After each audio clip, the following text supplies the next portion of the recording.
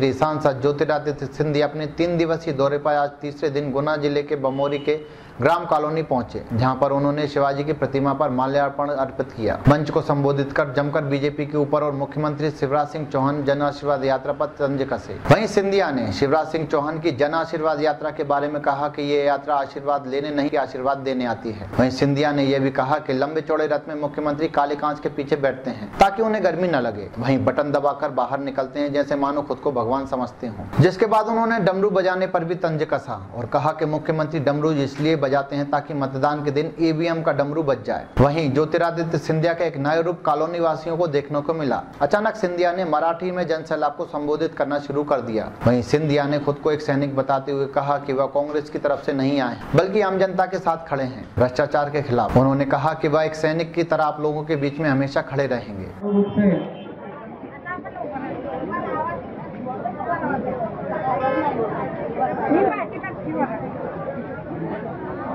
अपना दो साल पूरे होने जा रहे हैं। इस उपरांत श्रीमन सिंधिया जी के मन में जिज्ञासा जागी। उन्हीं कुर्ता जगीर सिंह जी। जब बुज़ुर्ग मेरे सामने आता है तो झुक के आशीर्वाद में लेता हूँ। लेकिन यहाँ तो आशीर्वाद कैसे लिया जा रहा है? है करीब पचास मीटर का बस। काले काले कांच लगे हैं। ताकि मुख्यमंत्री को धूप न लगे। और जब बटन दबाओ तो बस के बीच में से ढाई के मुख्यमंत्री निकलते हैं, जैसे भगवान के अवतार हो। और मालूम नहीं कि आशीर्वाद देने आए हैं या आशीर्वाद लेने आए हैं। ऊपर चढ़ के कहते हैं, मेरे भाई और बहनों, और जनता सौ मील दूर। अरे बाबा, जन आशीर्वाद लेना है तो जनता के गले लगना पड़ता है। सड़क की कीचड़ और माटी को उठाकर सिर पे लगाना पड़ता है। तब जन आशीर्वाद ये तो जनता से बहुत दूर हो गए। इनकी तो केवल आकर्षण, वो वोट वाली मशीन डब्बे पर है।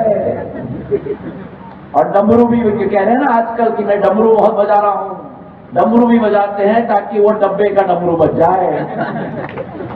इसलिए सावधान रहने की ज़रूरत है। जिन लोगों ने जैसे अभिमैन सिंह जी ने कहा, और इसलिए जो आज हमारा संबंध है, समय बदल चुका। समय बदल चुका। बाजी करते हैं जनता के साथ तार लगाने के लिए।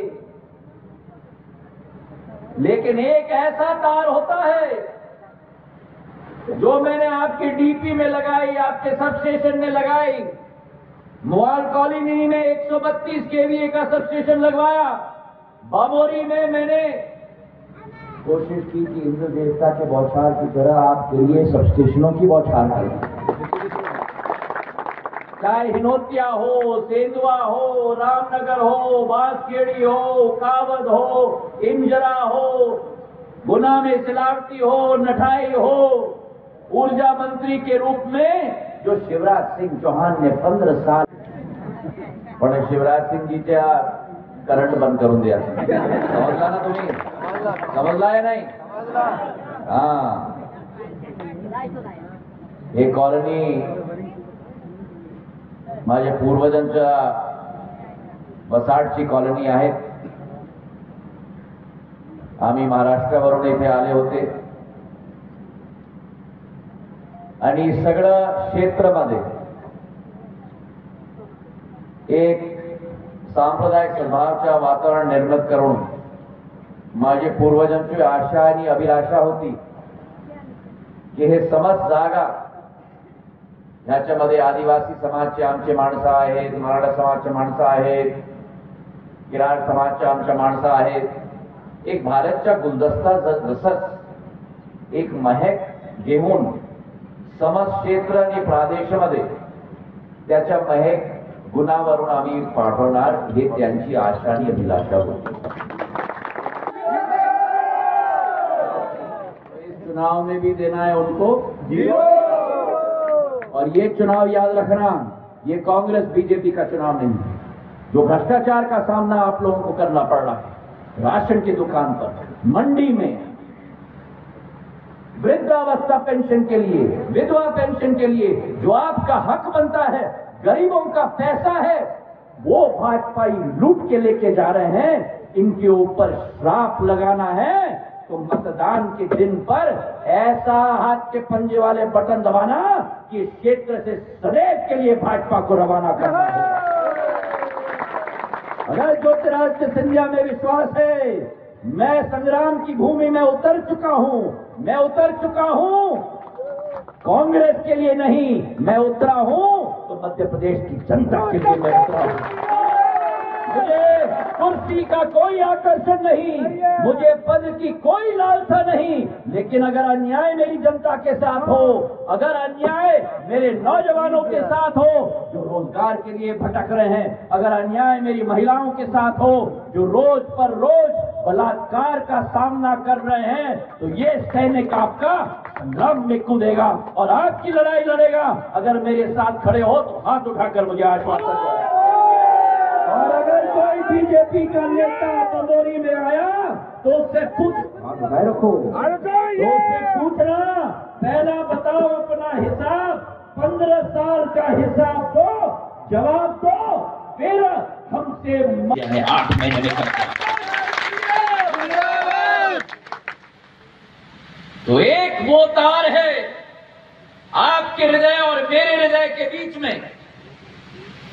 जिस तार में जब वोल्टेज निकलती है तो दोनों तरफ़ से करंट आता है और उसका संगम हो जाता है।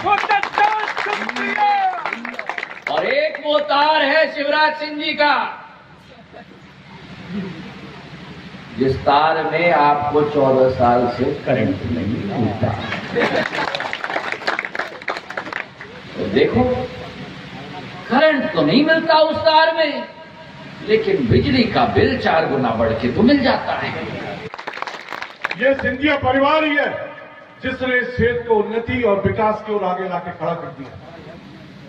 आज चाहे सड़कों का जाल हो, चाहे विद्युत का जाल हो, ये 2004 में जब कांग्रेस पार्टी की सरकार थी मध्य प्रदेश में, एक 132 केवीए का सब स्टेशन महाराज ज्योतिरादित्य सिंधिया जी ने ये इसका निर्माण करा कर जिससे पूरे क्षेत्र को लाइट और मुख्यमंत्री जी क्या कहते हैं?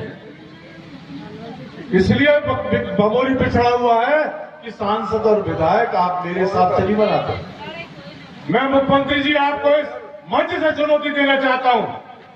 अरे हम विपक्ष के सांसद या विधायक बन रही हो, मगर आपके मंत्री और आपके संतरी और आप स्वयं एक काम बता दीजिए जो बमोरी विधानसभा में आपने करा के दिया। अगर नहीं महाराज साहब ये रामपुर से लेकर साइन बोर्ड की रोड, ये पूर्व मंत्री के शासनकाल में कमर कमर तक गड्ढे थे इसमें। आपके आशीर्वाद से, आपकी मदद से, आपके सहयोग से ये सात करोड़ की रोड रामपुर से साइन बोर्ड की जिसमें गाड़ियाँ फर्राटे से दौड़ रही है।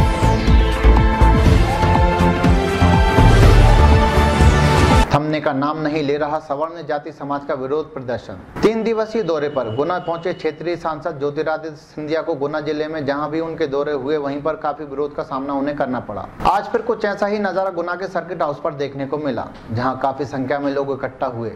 और कांग्रेस मुर्दाबाद भाजपा मुर्दाबाद के नारे लगाते हुए नज़र आए इन विरोधों को देखते हुए गुना पुलिस सक्रिय नज़र आई गुना एसपी निमेश अग्रवाल ने भारी संख्या में पुलिस बल तैनात करवा दिया था आपको बता दें कि सांसद ज्योतिरादित्य सिंधिया का बमोरी दौरा था लेकिन विरोध प्रदर्शन को देखते हुए सर्किट हाउस के मेन दरवाजे से न निकलते हुए उन्हें पीछे के दरवाजे से अपने बमोरी दौरे पर निकलना पड़ा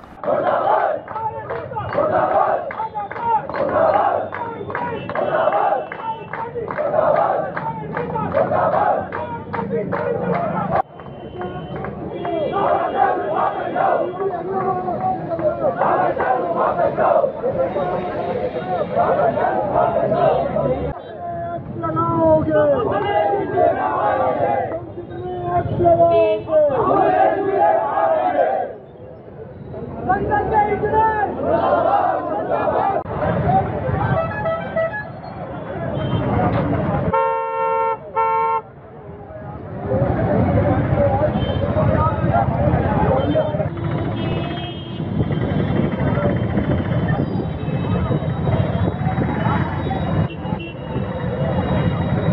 सुप्रीम कोर्ट ने जिससे यथावत किया जाए हमें किसी एस सी समुदाय से कोई बुराई नहीं है। हम चाहते हैं कि वो भी आगे पर इस तरीके से नहीं कि हमारे अल्पसंख्यक पिछड़ा वर्ग के स्वर्ण स्वर्ण भाइयों से उनके कंधे पर आगे बढ़े।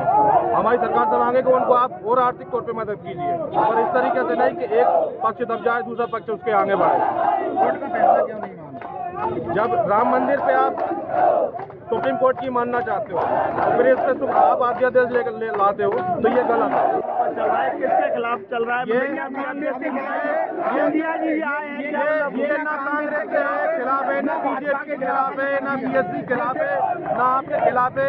ये सिर्फ़ उन लोगों खिलाफ है एक एस सी के खिलाफ है। सारी इसमें। जिसमें सारी पार्टी है जो इसका मतलब सब सब समाज एकत्रित हुई है इसमें इसमें एक समाज नहीं ब्राह्मण समाज रघुवंशी समाज कुशवा समाज प्रजापति समाज लोधा समाज धाकर समाज।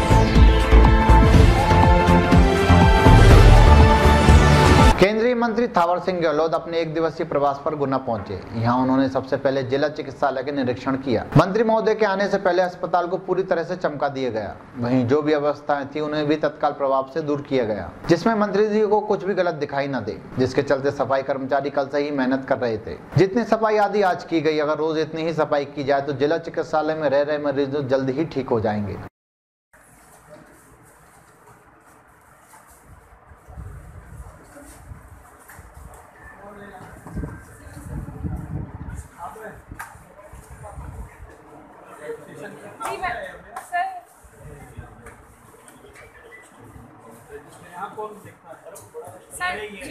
जी सर कौन देखता है मैडम रोज एवरेज क्या है यहाँ? दस किस टाइप के आते हैं।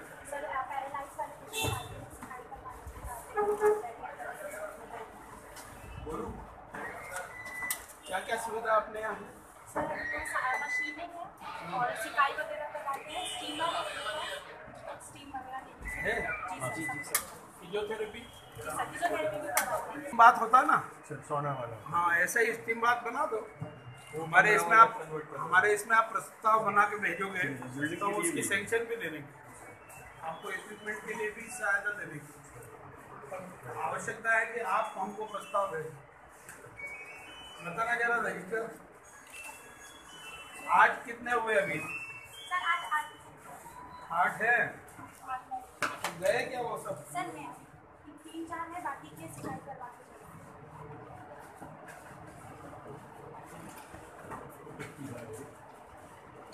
मतलब जितने कर्मचारी है उतना तो ठीक काम करते हैं ऐसा लगता है।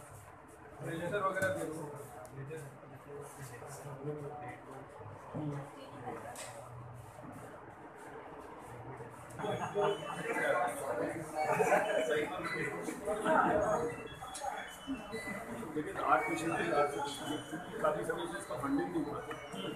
फंडिंग आपकी गलती से नहीं हम देने के लिए तैयार हैं।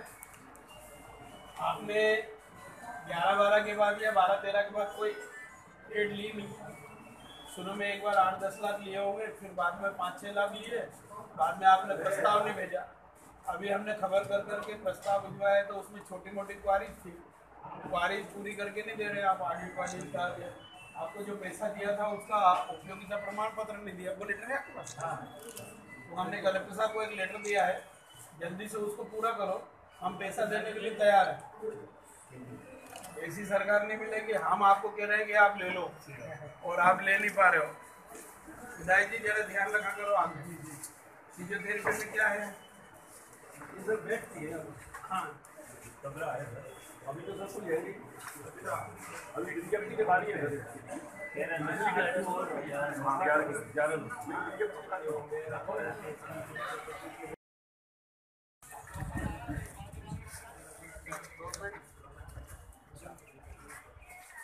प्राइवेट है या ऑटोनॉमस बॉडी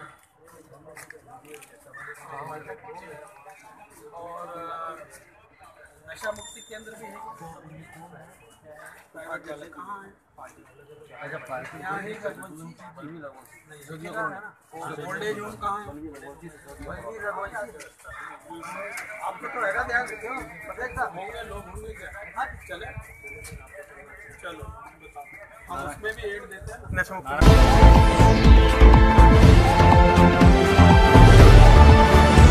केंद्रीय मंत्री को भी झेलना पड़ा लोगों की नाराज़गी और विरोध प्रदर्शन। केंद्रीय मंत्री थावर सिंह गहलोत जब सर्किट हाउस से निकले, तब उन्हें आमजन के रोष का सामना करना पड़ा। वहीं पुलिस ने अपनी मुस्तैदी के चलते सर्किट हाउस के गेट बंद कर दिए। लेकिन वहाँ खड़े लोग खुद को फांसी की अपील करने लगे, जिसके बाद उन्होंने मंत्री जी को भी कोसा। विरोध दर्ज करा रहे सरवर्णों का कहना है कि जो एक्ट में संशोधन सुप्रीम कोर्ट के द्वारा किया गया था, उसे सरकार ने क्यों बदला? इस पर जब प्रतिक्रिया ली गई तो केंद्रीय मंत्री ने कहा कि मैं तो लोगों से बात करने आया था। उन्होंने मुझे ज्ञापन दिया और मैंने ले लिया। उन्होंने एक बार भी ये नहीं कहा कि उन्होंने आने का विरोध क्यों कर रहे थे, और न ही ये बताया कि किस तरह से आमजन खुद की फांसी की मांग कर रहे थे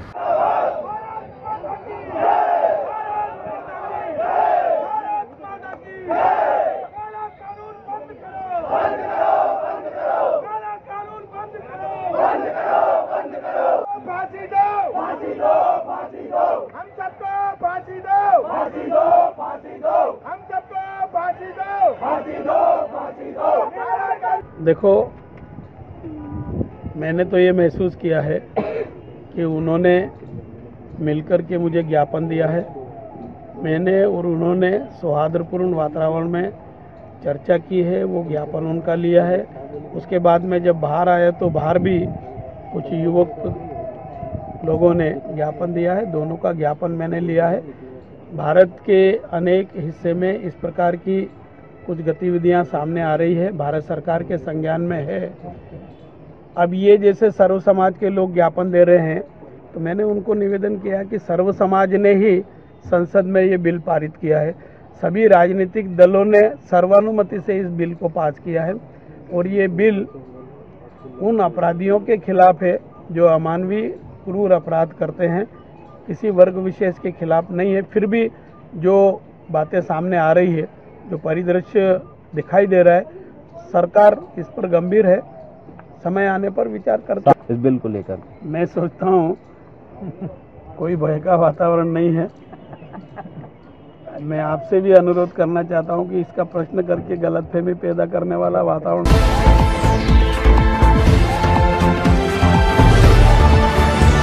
केंद्रीय मंत्री गहलोत ने इंडिया पोस्ट पेमेंट बैंक का शुभारंभ भी किया।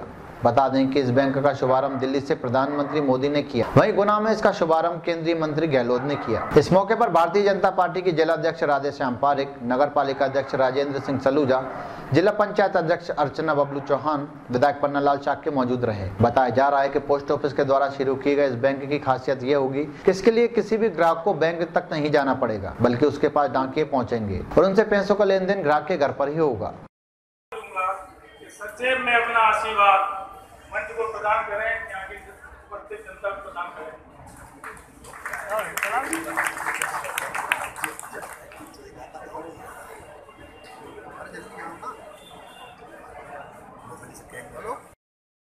तेईस के ग्रामीण इलाकों का प्रदर्शन किया गया है। कैसा होगा भारत का गाँव सन 2023 में? और कितनी महत्वपूर्ण भूमिका निभाएगा ग्रामीण विकास में। इन ये बैंक देश की अंतिम पंक्ति में खड़े व्यक्ति के लिए लाभकारी साबित होगा। इस वक्त यहाँ प्रदर्शनी स्थल पर, जो डिजिटल वॉल के माध्यम से विलेज ऑफ़ द फ्यूचर देश में सुशासन लाने की दृष्टि से देश की अर्थव्यवस्था को सुदृढ़ बनाने की दृष्टि से, कारोबार में पूंजी निवेश की दृष्टि से, रुपये का लेन देन करने की संस्थाओं का विस्तार करने की आवश्यकता होती है। भारत बहुत बड़ा देश है। दुनिया का सबसे बड़ा प्रजातांत्रिक देश जनसंख्या की दृष्टि से भी चीन के बाद दूसरे नंबर का देश। और ऐसे देश में बैंकिंग प्रणाली के अंतर्गत काम करने वाली संस्थाओं की संख्या की और अधिकता की आवश्यकता थी। समय समय पर इन विषयों को ध्यान में रखते हुए कुछ प्रयास किए। गए आपको और हमको सबको ध्यान है कि एक बार सारे देश में बैंकों का राष्ट्रीयकरण भी हुआ। अब राष्ट्रीयकरण हुआ था तो उसके पीछे सोच ये थी कि देश के अधिकांश लोग करें? क्यों जाती थी? तो उसका एकमात्र कारण ये है कि योग्य व्यक्ति अगर कुर्सी पर बैठता है तो उसके नाम से बहुत अच्छे अच्छे काम होते चले जाते हैं। जैसे ये जो बैंकिंग की व्यवस्था लागू हुई है डाक घर में तो ये भी एक अच्छा काम है। इसके अलावा भी जो केंद्र ने जितने काम किए हैं जनधन योजना है, उज्ज्वला योजना है, सर्जिकल स्ट्राइक है, विदेशों में जाके भारत का मान और सम्मान किस स्तर पर बढ़ाया है, उस महापुरुष ने इसकी हम कल्पना नहीं कर सकते। और संभवतः हमें से हो सकता उस सम्मान को तो अभी कोई समझ भी ना पाया हो। क्योंकि विदेश नीति और कूटनीति ये राजनीति से बहुत ऊँची है, बहुत ऊँची है। इसलिए मेरा आपसे अगला निवेदन है कि जब कोई अच्छा व्यक्ति बैठता है तो देश में बहुत अच्छे काम होते हैं, अच्छे काम होते हैं।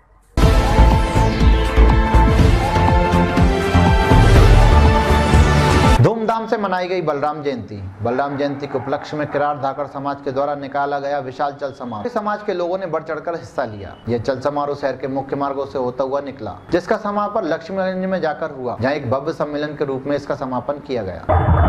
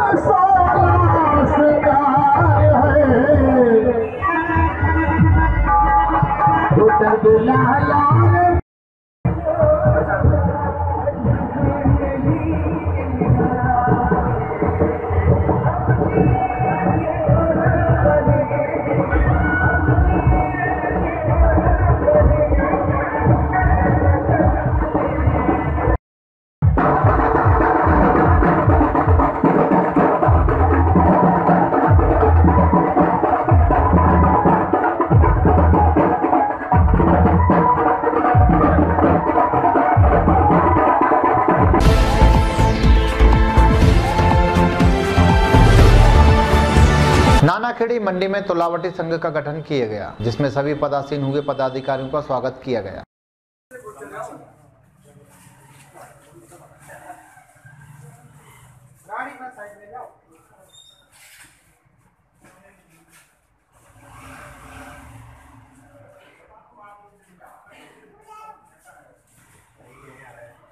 आज तुलावटी संघ का गठन हुआ, जिसमें अध्यक्ष के रूप में धर्मेंद्र जाट को चुना गया है, उपाध्यक्ष के अर्थ कुजबा को औसक अध्यक्ष के रूप में ज्ञानदास बैरागी को और सचिव के रूप में रामकृष्ण साहू को।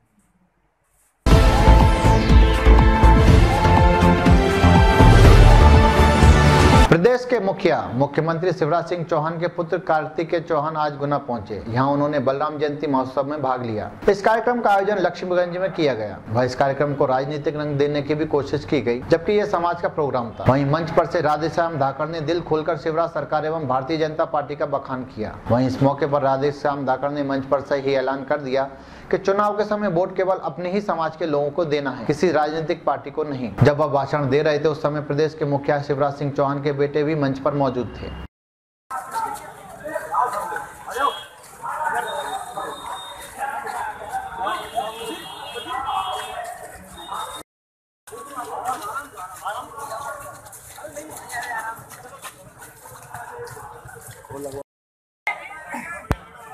पधार चुके। आज मुख्य अतिथि के रूप में हमारे बीच मौजूद है। साधना सिंह जी, चौहान जो हमारे समाज गुना की ओर से उन्हें यह प्रशस्ति पत्र कार्तिक भैया के माध्यम से पहुंचाना, पहुँचाया जा रहा है। हमारे मध्य प्रदेश का मुखिया शिवराज सिंह चौहान ने कितनी लाल बत्तियाँ दी थी, लेकिन वो हट गई। लेकिन लाल बत्ती का सम्मान आज हम सबको मिल रहा है। हमारे मध्य प्रदेश के लाडले नेता ने ऐसी योजनाएँ बनाई है कि जिन योजनाओं का कोई राजनीतिक रूप नहीं है ये ये सच्चाई बात है। ये नहीं कि ये कांग्रेस और भाजपा का भाषण है। आज उनकी योजना है। देखो तो आप दंग रह जाओ। सड़क देखो, बिजली देखो, तमाम नाना प्रकार की योजना है। अरे बच्चा पेट में आए, चार हज़ार ले जाओ। पैदा हो जाए, बारह हज़ार ले जाओ। और एक सौ आठ लगाओ और डिलीवरी घर, करा के वापस घर छोड़ के आएगी। आप देख रहे हो, एक रुपया किलो गेहूँ, एक रुपया किलो चावल। अरे नमक तो फ्री में ले जाओ। हमारी योजना है। हमारे समाज के लाडले नेता की योजना है। आप देख रहे हो, भैया बुज़ुर्ग हो गए। पैसा नहीं है तीर्थ यात्रा कैसे करें? भैया शिवराज मामा हमें यात्रा करा दे। शिवराज भैया यात्रा करा रहे हैं?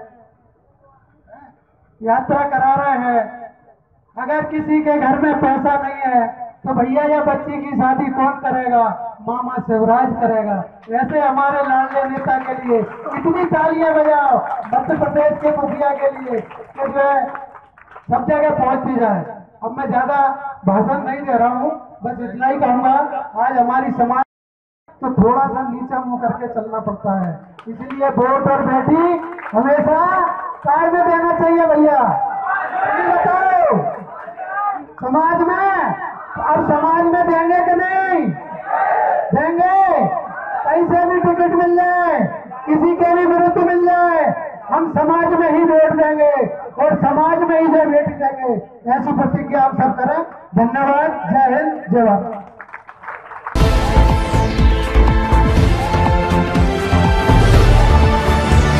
जिस समय केंद्रीय मंत्री गहलोत डाकघर में नए बैंकों का उद्घाटन कर रहे थे। वहीं एक ऐसा पीड़ित परिवार आया जो डाक विभाग के आला अधिकारियों के द्वारा प्रताड़ित किया गया। बता दें कि इस परिवार के मुखिया डाक विभाग में कार्यरत थे। आपको बता दें कि इस परिवार के मुखिया डाक विभाग में कार्यरत थे, जिनका काम करते समय हृदय गति रुक जाने से देहांत हो गया था। जिसके बाद से उनका यह परिवार अनुकंपा नियुक्ति के लिए पिछले ढाई वर्षो से प्रयासरत है, लेकिन अभी तक इनकी कोई सुनवाई नहीं हो पाई आज इस परिवार ने केंद्रीय मंत्री को ज्ञापन सौंपा, जिस पर मंत्री जी ने उन्हें आश्वासन दिया की उनकी सुनवाई जल्द ही की जाएगी।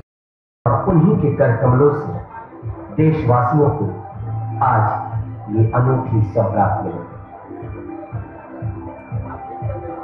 हम सभी जानते हैं कि भारतवर्ष में शहरों नगरों और गांव-गांव तक भारतीय पोस्ट के पोस्ट ऑफ़िस देश के कोने कोने तक फैले हुए हैं।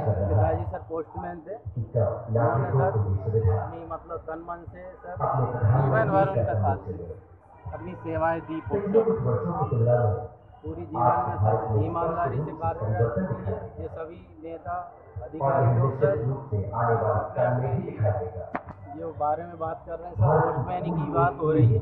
लेकिन वो पोस्टमैन ने सर अपनी ईमानदारी से अपनी हार्ट की बीमारी को ना देखते हुए सर। ईमानदारी से मतलब अपने कार्य को किया और सर शहीद हो गए उनको गाँव में गाँव में सर उनकी उपस्थिति कौन से गाँव में पोस्टिंग थी अभी क्या समस्या आ रही है सर पिचौर में ही हुए रात को सर उनको हार्ट अटैक हार्ट अटैक आया सर उनको मतलब तो पूर्ण मतलब वो डॉक्टर उनका जान भी नहीं जान ना मिलने के कारण तड़प तड़प के उनको शहीद हो गए सर हम चाह रहे हैं ताकि अच्छा तो है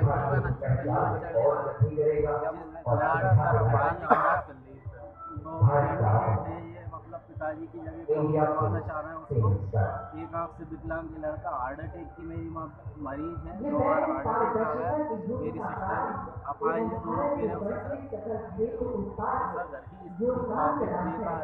अभी आप मिले तो क्या बोला उन्होंने आश्वासन दिया है है लेकिन इस टाइप से नहीं दिया कि हो जाएगा कि नहीं होगा लेकिन क्या क्या बोल क्या क्या बोला था?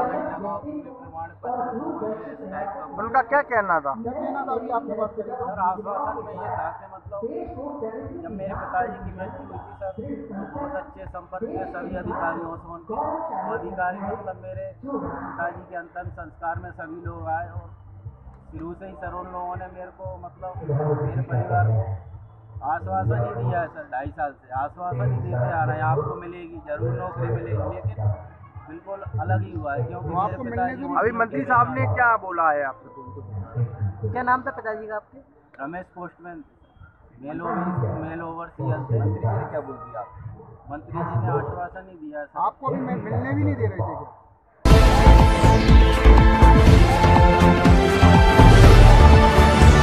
डीजियाना न्यूज़ में आज बस इतना ही। कल नई खबरों के साथ हम फिर हाजिर होंगे, तब तक के लिए नमस्कार।